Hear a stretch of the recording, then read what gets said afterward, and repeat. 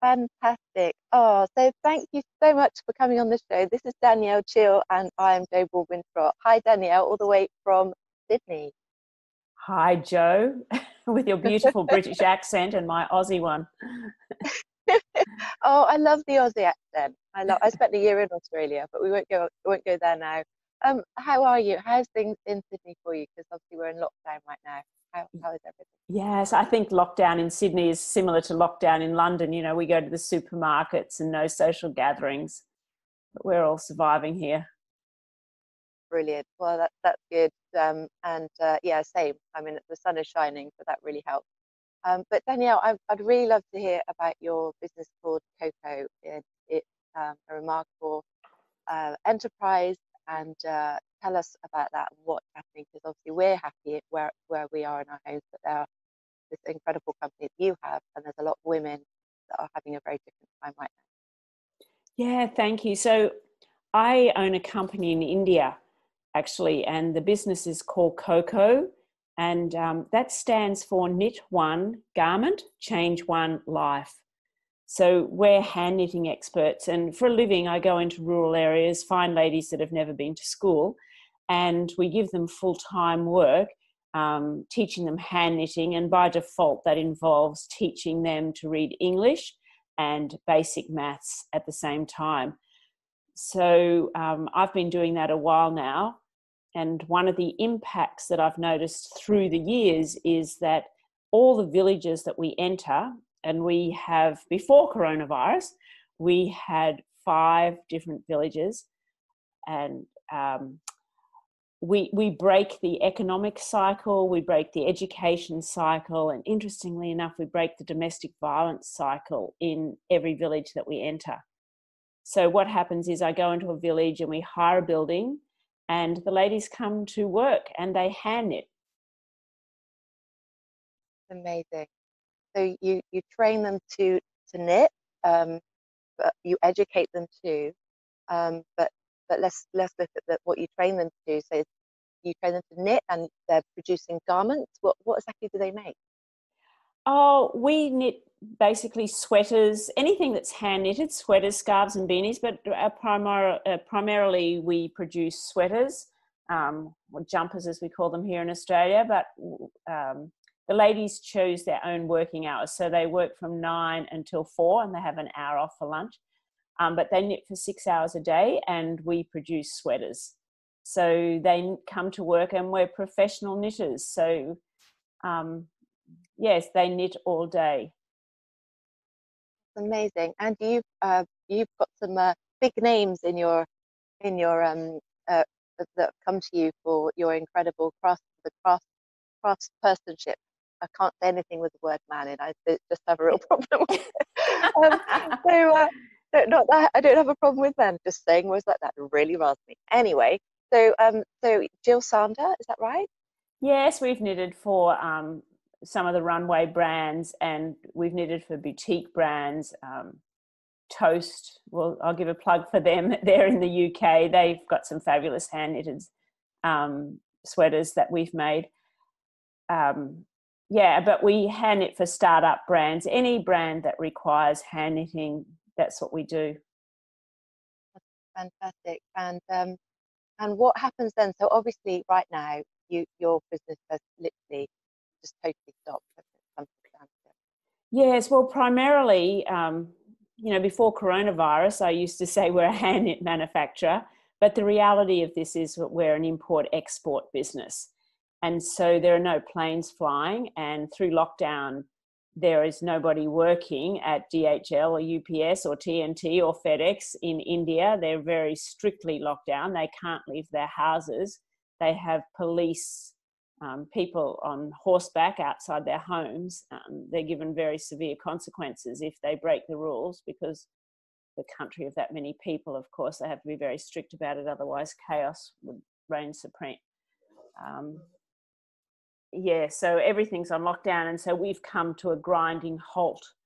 And one of the sad things is that these ladies who have no idea how to save any money, um, you know, they're already in debt usually anyway before they come to work because before they met me, if their husband doesn't have work, they go to the local village lender and borrow money. But they've never, it's one thing giving them work, but I've never sit, sat and taught them how to budget. So these ladies are often in debt already.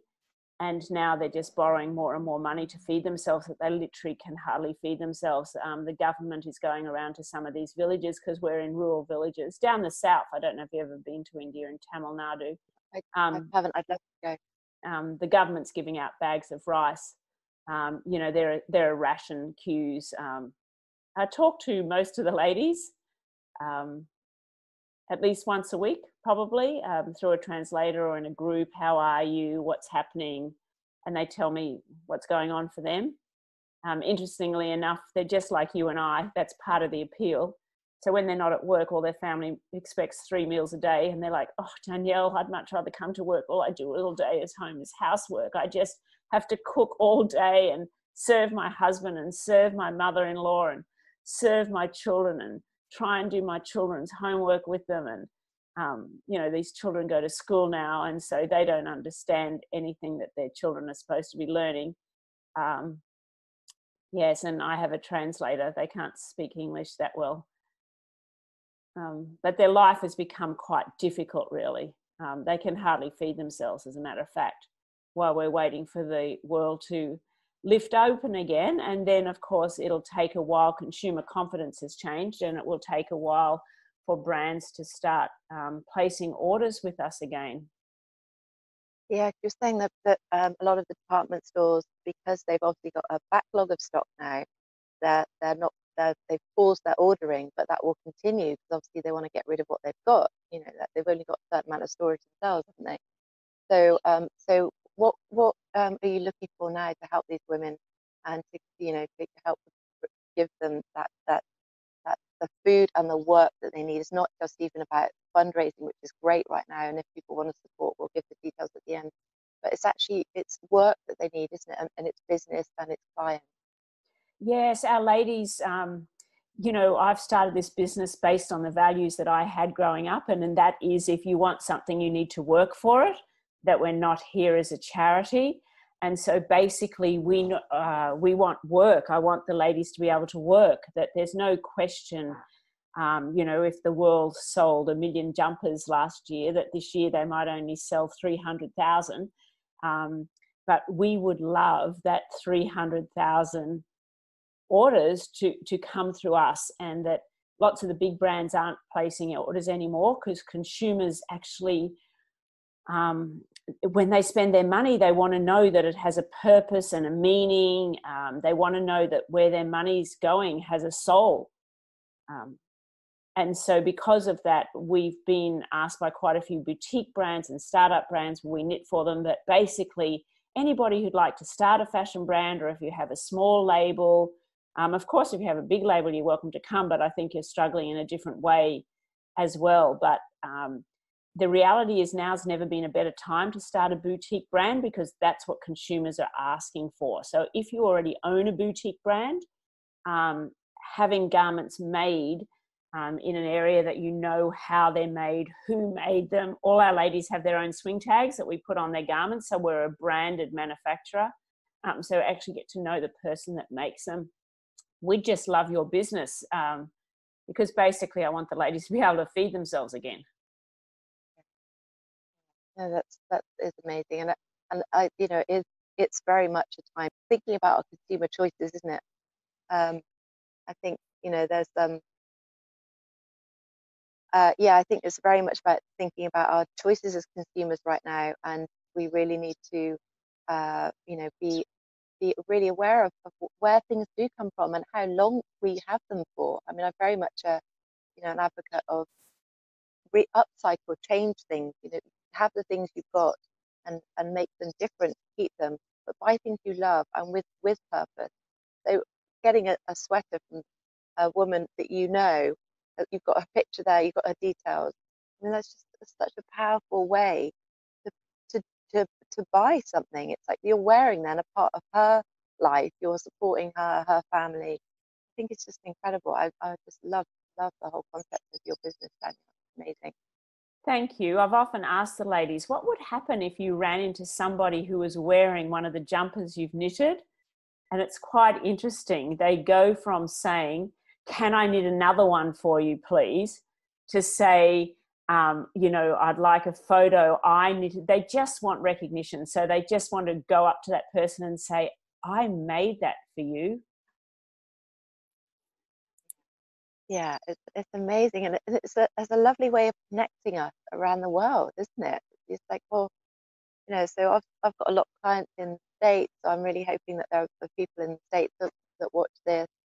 Um, and, uh, and, you know, I think it's, this is the way we can buy. Um, why not buy with purpose, not just buy um, with, with, with, with pointlessness, because that's what a lot of people have done before. Um, and because people aren't, aren't going to shop right now, it is going to change everyone's attitudes. We've had the magic 21 days, haven't we? Of how to, we change our behavior in 21 days. So we've had a good 21 day period where we're actually changing our whole behavior pattern. And I hope, Danielle, that um, after this period, that people really are thinking differently about what they buy, how they buy it, but who it's who it's been made by. And I think your your your brand is a, is a beautiful way of, um, of giving that message out. Thank you very much, Jo. So thank you so much. And so where can people, um, how can people get hold of you, Danielle, and, and uh, reach out to you? Well, either through you or um, our website, www.coco, K-O-C-O, dot global. Brilliant. Okay, that's fantastic. We can share this video and uh, give people a nudge um, and um, say, come on, let's help these women around the world and uh, let's grow this connection. Um, never needed the more so than now um, to support women that really are having incredibly difficult times. Thanks very much for coming on the show, Dan. Pleasure. Thanks a million.